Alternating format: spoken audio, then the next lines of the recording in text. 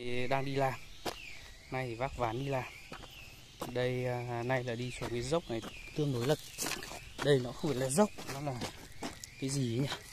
Kia thì tí nữa mình sẽ lên cái cái ụ đất này để lên cái đường này. Đấy anh em xem.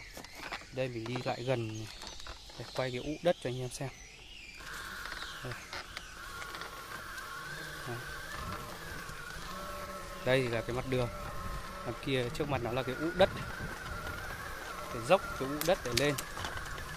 Đấy, mình cũng ờ, đi gần gần tới thôi chứ mình không lấy đà. Đấy.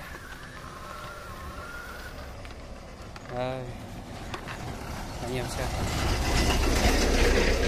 Đây, cái ụ đất này cũng cao phết đấy. Đây thì mình sẽ đi thẳng đến đây cho anh em xem.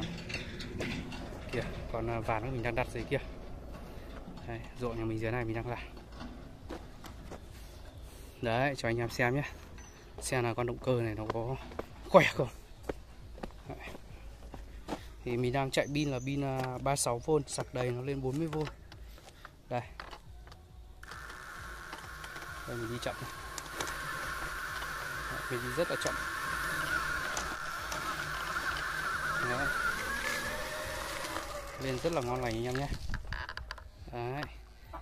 không có người quay, đâm ra là mình tự quay lấy thì hình ảnh nó không được tổng thể rồi, xin chào nha.